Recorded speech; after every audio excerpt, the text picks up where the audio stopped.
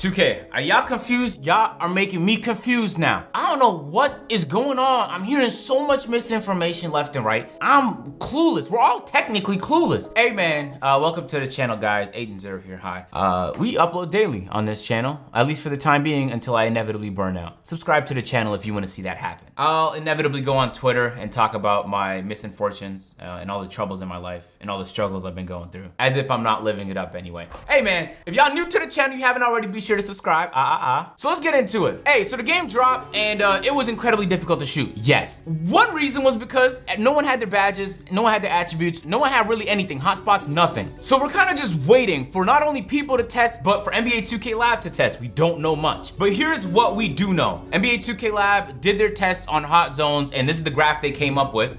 This year, hot zones are more important than they were in previous years. That's shown here objectively, but it's also shown in my gameplay. Yo, the second I got hot zones is when I became consistent shooting the basketball. It was automatic. So if there's one thing you wanna do to help your shot, it would be to get hot zones. Okay, that's new information. Some more new information, as NBA 2K Lab was doing their tests on their jump shots, they put out this tweet saying, we decided to pivot from testing at a 75 three point to an 80 because the script wasn't finding green windows at 75. The percentages were also very low, 20 to 30% total make rate. This, of course, without badges, hot zones boost. With those things applied, you probably be able to shoot better. So when Mike Wang said, if you're hitting shots with a subpar three-point shot, I'ma patch it. He might not have been playing, fellas. So we know a couple days into the game's launch, they dropped this hot fix to change the shooting sliders on lower difficulties on my team and on my career. It wasn't supposed to affect Pro-Am and Park. That's what we were told. A few days after that update went live, everybody began to notice a lot of differences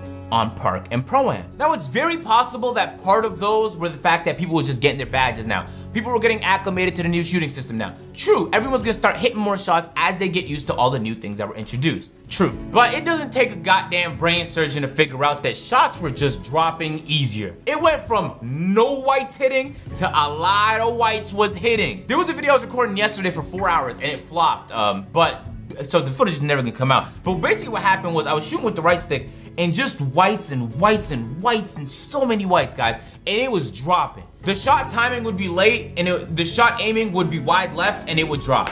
The fact that it would drop is preposterous. Ticino was a little bit frustrated. He put out this tweet saying, Hey Beluba, nearly every white release goes in once you have shooting badges on NBA 2K21. Please fix this ASAP by requiring you to green open shots.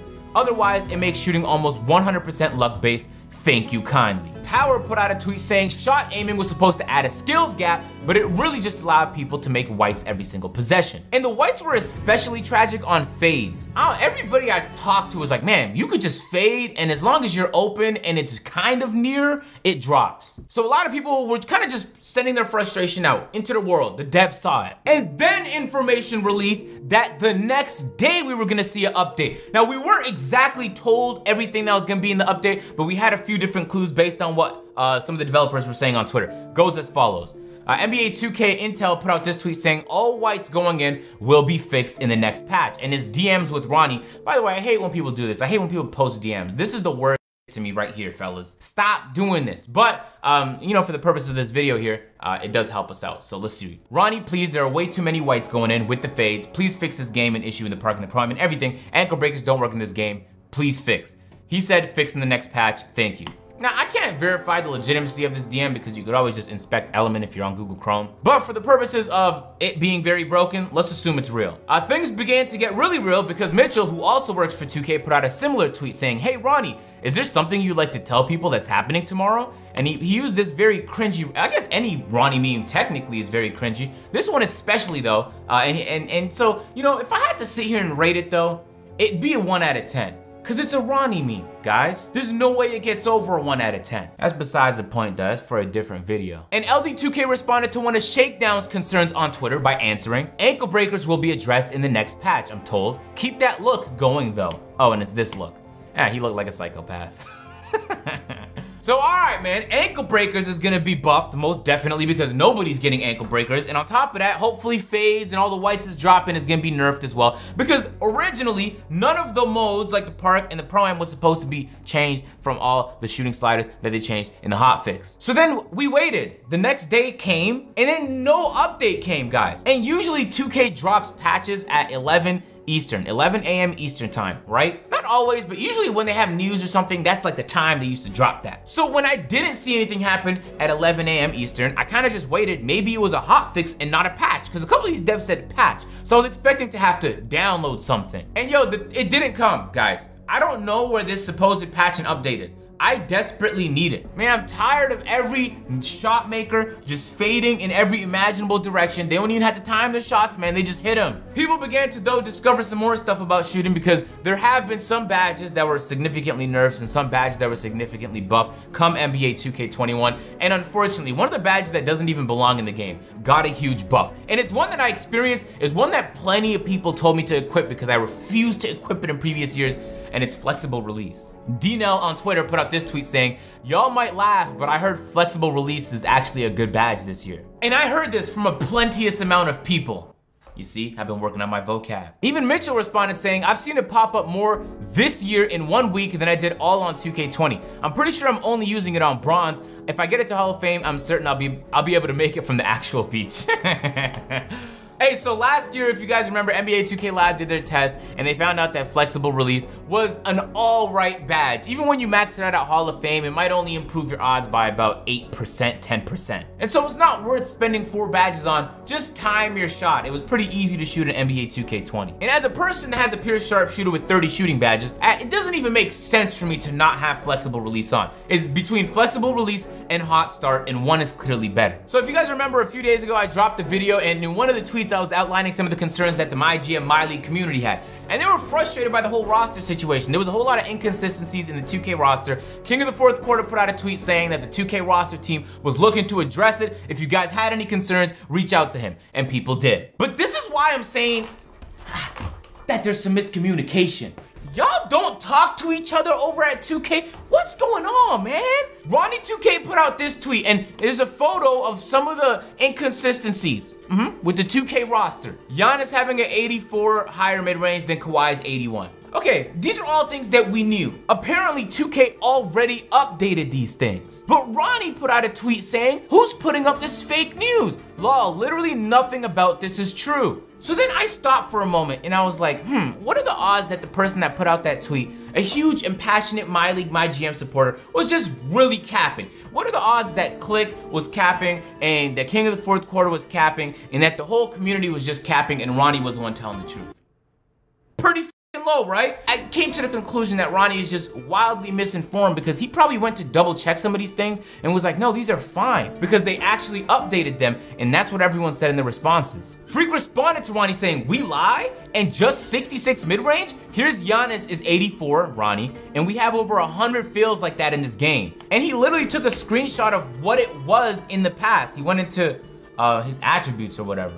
Wait, wait, this is Jimmy Butler. What the Stop lie. You corrected Leonard, but Giannis is certainly not an 84 and a 73 shooter. Should be 64 and 63, not more. And uh, he shows an example here of his attributes, etc., etc. Is it that hard to believe that in a pandemic, in a console jump year, a lot's going on? NBA 2K cut a lot of corners with NBA 2K21 on current gen because they really try and get NBA 2K21 on next gen looking right. And the one mode they didn't give a single about was this one. That seems very reasonable to me. That's exactly what happened actually actually. So Ronnie, when they come with a very reasonable request considering that they had zero improvements to their game mode, all they're asking for is an update to make sure tendencies, attributes, and the badges is looking right. It's not that hard. It's actually not hard at all. Especially when they're doing the work for you. They're telling you what the inconsistencies are. It's not okay for you to just put out a tweet calling everyone cat, Ron. Ron, you've been capping so consistently here on this platform for so long. No, and he doubled down on it in his reply, by the way. Curry's block is a 50, LeBron's 64,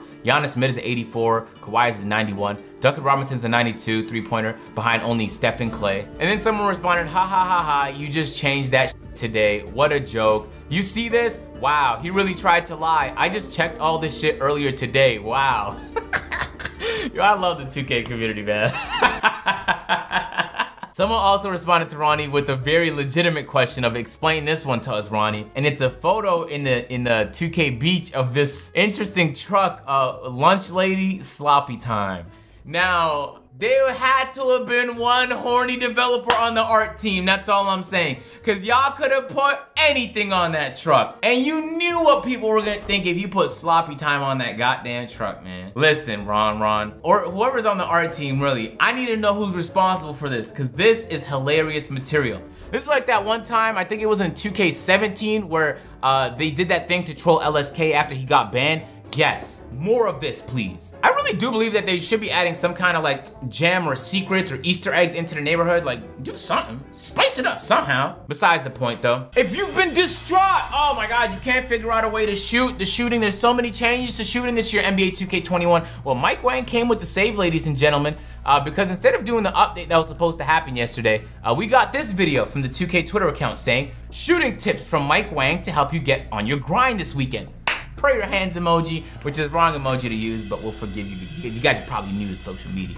Uh, I need you guys to forgive me off rip, and you know, as I put up these headphones, they are broken. Welcome back to Expert Tips. I'm Mike Wang, gameplay director for NBA, holding the shot button and releasing at the peak of your jump. But for 2K21, we're introducing a new way to shoot with a pro stick that we call shot stick aiming. For jump shots, move and hold the pro stick. All right, Mike, we know this. You actually said this does a lot of times. Now, when you're shooting with the pro stick, you won't be penalized for poorly timing your release. Huh? You can even keep the stick held until the ball hits the rim if you want. But if you want to become a great shooter, wait, I must have misheard what he just said. Your release. Pro stick, you won't be penalized for poorly timing your release.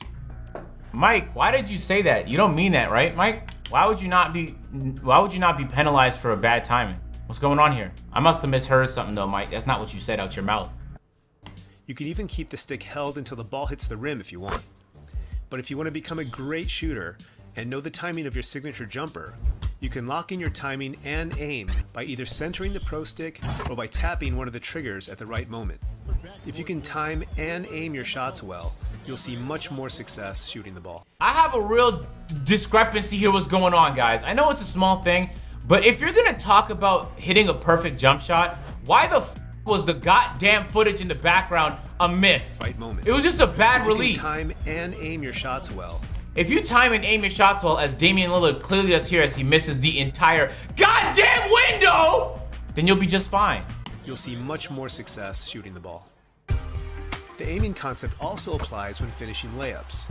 You can still hold the pro stick in any direction to start a layup, but just like jump shots, you'll want to quickly adjust the aim marker to hit the center of the target. You have to be quick, but if you master it, you'll have great touch around the rim and be able to finish tough shots. Yeah, yeah, we get it, Mike. That's how you use the shot stick. There you go, guys. You've been enlightened. In case you've been struggling out there, this two-minute infomercial from Mike Wang is breaking it down for you. Uh, I do like the idea of what they're attempting. And I genuinely believe that the only reason they're doing what they're doing right now on current gen is so that they get it right for next gen. I believe that to be the case, guys. It's gonna be the same system on next gen when it comes to finishing and shooting, I'm telling you. Mike Wang elaborated further. He put a quote tweet to that tweet from NBA 2K saying, There's a tip about the ideal aim point skewing left or right based on how fast you initially throw the pro stick. That functionality isn't in yet, but will be patched in very soon. Gives more control to the player. Stay tuned. Oh, so this is absolutely a beta test for next gen. This is confirmed, guys. I was saying it a moment ago, but now I 100% believe it to be the case. And I'm all for it, guys. I don't really care. I like the system. As long as it's balanced and it doesn't give so much of a boost that it makes no sense. Because right now, when you use the right stick, really your timing doesn't matter at all. Like, at all, guys. As long as you aim it correctly, which isn't hard, your timing doesn't matter at all. What's hard to do is aim and time it properly. I mean, I feel like there'd be a skills gap to that if it was implemented properly and balanced. I'll say this, the most difficult thing about NBA 2K though is when you're game testing it, first of all, you have to be incredible at the game. And I feel like the game testers are dog, but that's besides the point. You also have to keep in mind that depending on attributes, badges, like the height of the player, the archetype, the takeover. There's so many different factors that can take a build that's balanced and make it OP or make it ass. So it is inherently difficult to test every faction of this game to make sure the game is balanced. This is a very difficult game to balance. I understand that. Which is why I'm hoping that, you know I'm saying, Mike Wang, don't do too much disco tech with it, you know what I'm saying? Don't ruin the game for everybody out there, but just do enough so that the game makes sense. Have a good little, you know, in between. Here's balance, here's fun. Find the middle right here. That's really all your job is. And I also believe, guys, that Mike Wang has nothing to do with uh, current gen. I just believe the only reason he's getting involved here is because he has to do with next gen, and this system is also going to be next gen. Hey, uh, NBA 2K. So, uh, first things first, you feel me? Hey, apologize to the My League, My GM guys. They're struggling out there. They're distraught about the fact that their game mode somehow got worse on an upgraded year. You feel me? Like, that's not usually how things supposed to work. Things usually supposed to move in the direction of progress. Second thing, uh, that update that we talked about is supposed to drop yesterday. We don't know where it is. So if at any point we can get an update about the update in the patch, we'd appreciate that. I'm assuming what happened was Sony or Microsoft had to like hold it back because you know like you have to approve a patch and uh, there's a process to that thing, you feel me? And the game's only been out for about a week. So I'm assuming that's what went wrong, but I could be wrong about that too. And last but not least, I need an explanation for that truck in the neighborhood, man. I really do. For me at least, standing shoot, standing shots, yeah, for a pure sharp, too many whites go in. I wish it was more greens. I wish, just a little bit, especially on Prime. I've been on 3v3 Prime more than anything. But hey man, for what it's worth, I barely played 2K20. I'm genuinely having a decent time on 2K21. I haven't been on the neighborhood though, I've really been playing 3v3 Prime. I don't know if I should be concerned about that or not, but I've heard the servers on the park have been absolute garbanzo. So I refuse to put myself through that type of mental misery, especially knowing that there's a good experience on 3v3 Prime where I don't have to do that. Well, that's it for the videos, guys. There's videos on the screen right now. Make sure to drop a like, subscribe to the channel. We do daily uploads here, uh, and I'll catch you guys in the next one.